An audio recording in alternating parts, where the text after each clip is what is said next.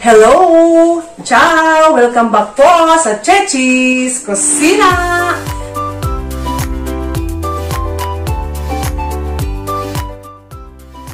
Ayan mga kakusina, ang lulutuin po natin ngayon ay pakbet. Pero, ginataang pakbet.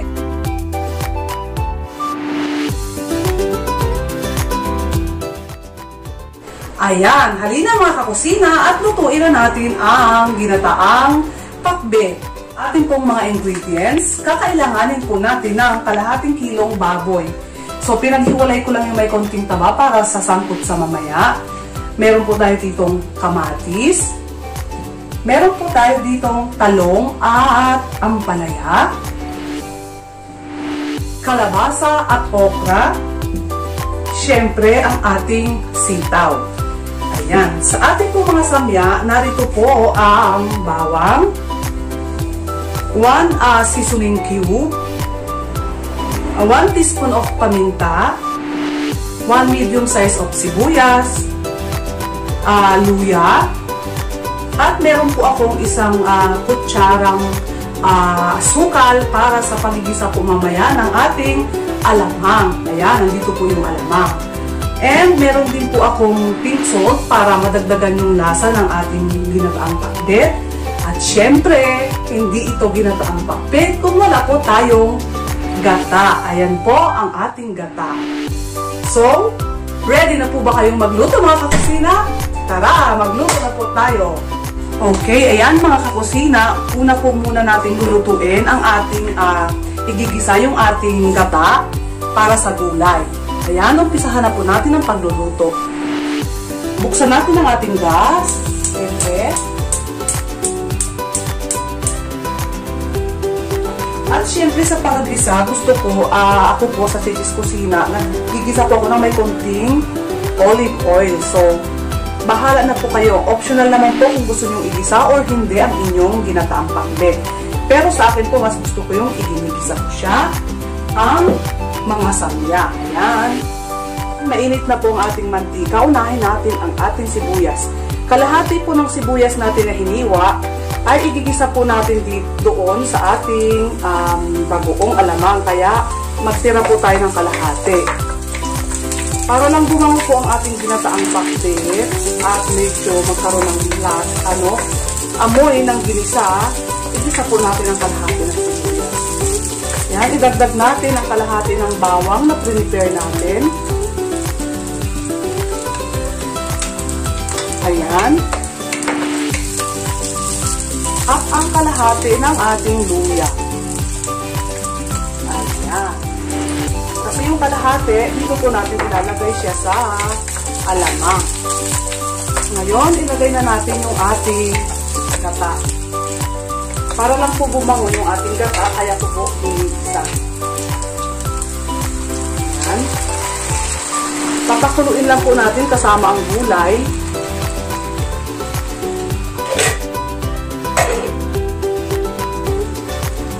Ayan. Ngayon, dito ko dito po sa ano sa sa, gina, sa gata, ilalagay ko po yung kalahati ng ating nor cubes. Kasi yung kalahati, dito po natin ilalagay mamaya sa bagoong. At mamaya lalagyan po din natin ng pink salt. Ayan, medyo kumukulo na po ang ating gata. Idagdag po natin ang ating kalabasa. Unahin po natin ang kalabasa kasi ito medyo matigas. Sama na natin yung okra para yung kasi sila ng ayan.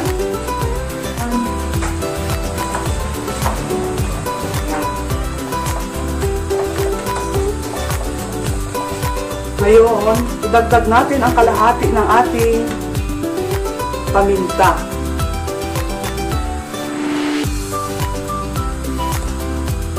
Ayan.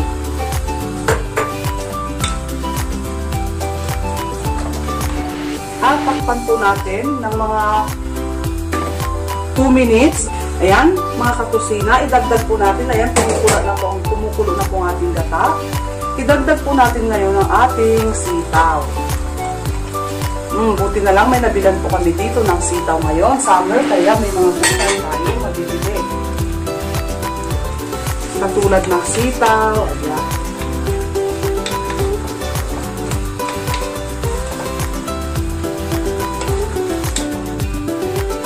Hmm, ang bango ng gata. Ayan, aamin ko na mga kakusina.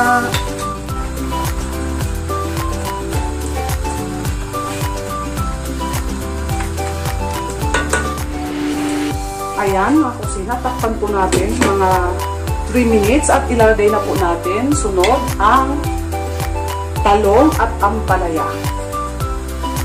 Habang naghintay tayo ng ating pinataambak na maluto po yung ating mga gulay, igigisa ko na po ang ating alamang sa baboy para hindi na po masayang ang ating oras. Ayan, may kunti po akong mantika para sa ating pag-igisa. Ayan, kesa para hindi na po tayo masayang pa ang oras. Ayan.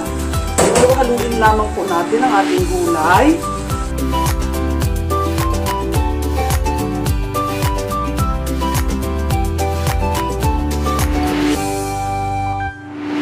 Ah, ngayon, lalagay na po natin ang ating sibuyas.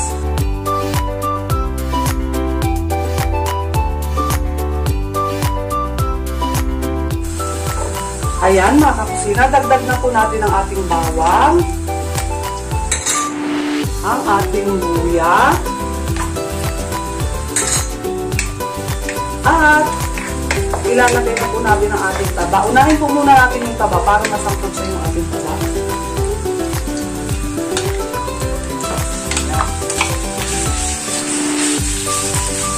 Masarap may susunog-sunog itong taba. Natin ng takip. Yan, lagyan po muna natin ng takip.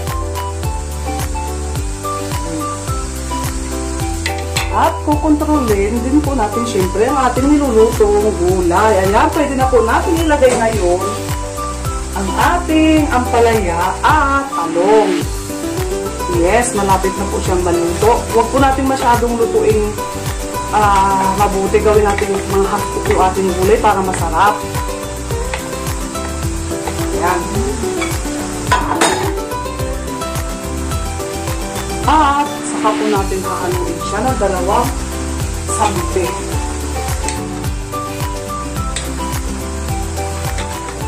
Ang dami gulay ito. Sarap. May ampalaya na po dito kasi summer na. Ang ampalaya po, nakakabili kami dito pag summer. Maraming nagtatanim. Ayan. Tatakba, tatakpan ko lamang ito para maluto ng ating gulay. At mamaya lalagyan po natin siya ng pink salt. Ilipat po natin dito sa mas malaking apoy itong ating pag-iisa para naman mas mabilis po ang ating pagluluto. Ayan, bubuhayin ko na po. Kasi, ang bagal po ng maliit ang apoy. Ayan, di ba? Ang bilis dito sa malaki.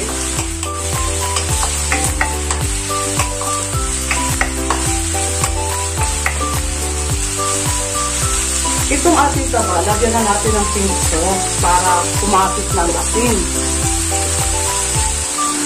Bango ng luya, ha? Okay? Kayo na po ang bahala. Optional po sa optional po paglalagay ng asin. Hindi ko na po sinupat ang asin. Ngayon, kontrolin natin ang ating gulay. Pwede na natin ilagay ngayon ang ating pink salt dito.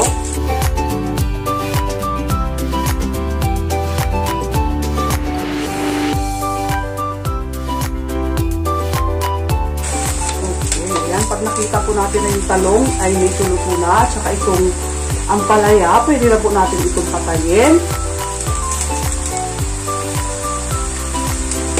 Mga 2 minutes pa po. Okay, tingnan natin ngayon ang ating bilang, taba, magoy. Masarap po dito medyo brown, kaya kaya natin mag-brown bago natin ilagay yung isang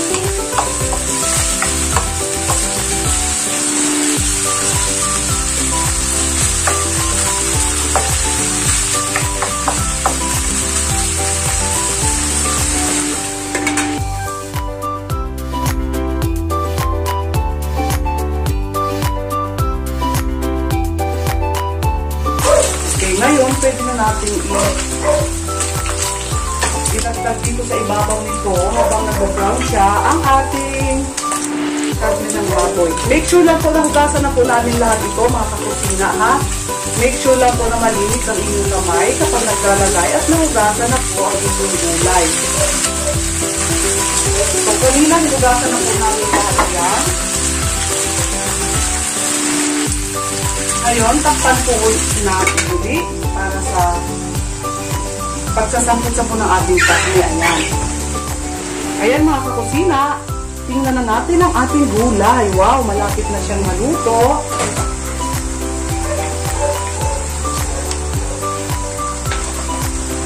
Wow, na.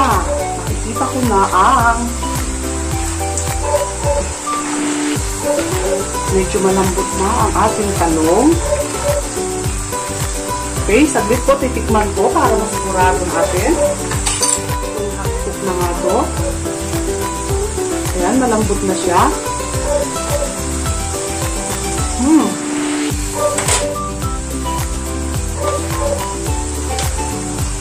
Mainit. Okay, isang minuto pa po.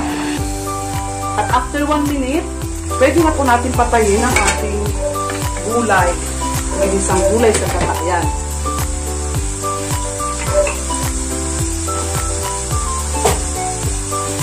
tuloy natin. Wow, nagkaroon na po ang ating ano, kabal sa ilalim. Yes, ayan na. Tingnan natin yung ano, yung. Nagkakaroon na po na po. Ayan. Ayun po. Ilalagay na natin yung natitirang kalahati ng ating ano, sisilipo. Paminta.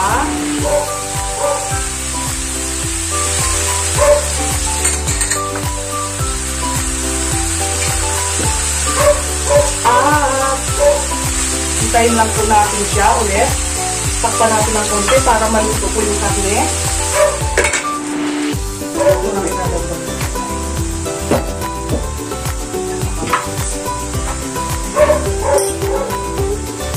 Okay, ngayon, ngayon po, patayin na natin to. Luto na po ang ating gulay. Yan, patay na po siya. Hawang natin ang takip para hindi po masyadong lumambo.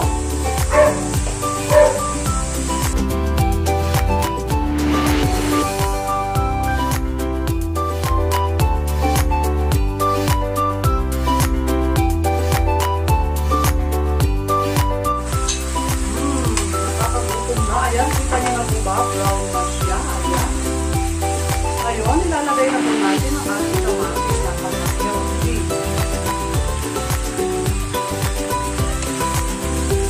At takpan po muna natin ulit ng dalawang minuto at saka po natin ilalagay ang ating bagoong alamang. Okay, ngayon po, tingnan natin kung ito ang kamatis. Na ang ating kamatis. Idagdag na natin ngayon ang ating alamang. Hmm, nakakagutom na po.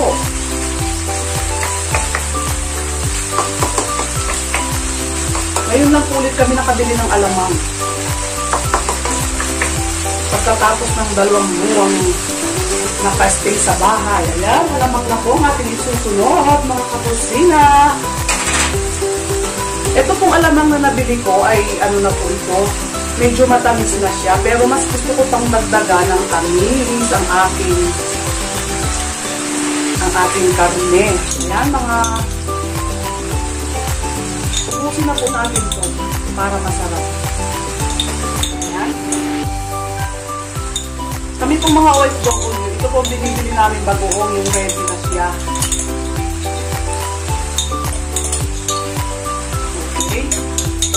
Ayan. Halo-haloin lamang po natin. Wow, nakakagutom na siya. Ngayon, idadagdag ko na po ang ating um, sugar. Kasi mas gusto ko medyo matamis pa ng konti. Isang kutsara pong sugar.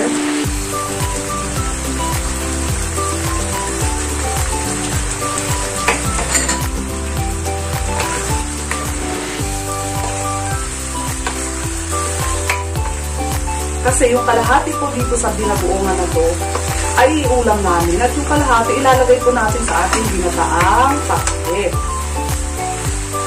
Ayan. Titikman ko lang po ng konti para malasahan natin.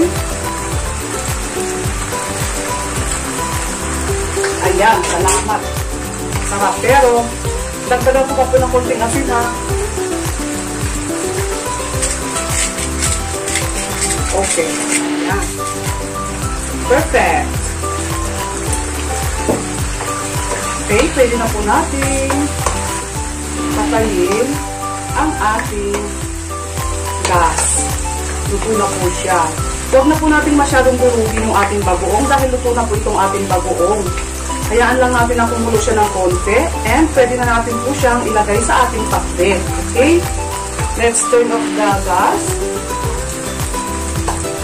And we will put half of this to this uh, ginataang pak, ginataang gulay para maging ginataang pakbet po siya. Yan. Kalahati po ha. Dahil yung kalahati ay uulamin po natin. Ayan. Ng separate. O diba may dalawa na kayong dish. Binagoong karne at pakbet. Ayan. So, haluin lamang po natin. O, yan, nakita niyo na. Mm, mas gusto ko po hindi nadudurog yung, kaya pinakuli ko po yung bagoong. Mas masarap po na hindi durog yung ating bagoong. Ayan.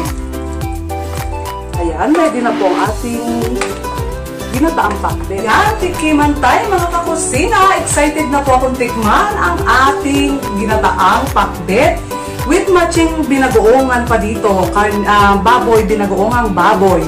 Ayan, nakagawa po tayo ng dalawang dish sa ating niluto.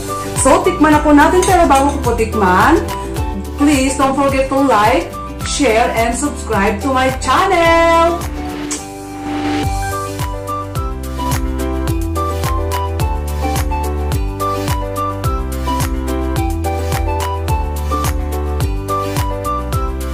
Dip! Ay, may nahulog pang kanin.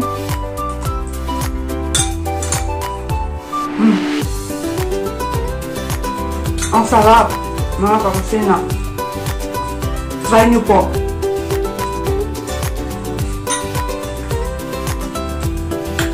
Buonissimo! Mm. Salamat mga kakusina! I hope you enjoy it! Bye!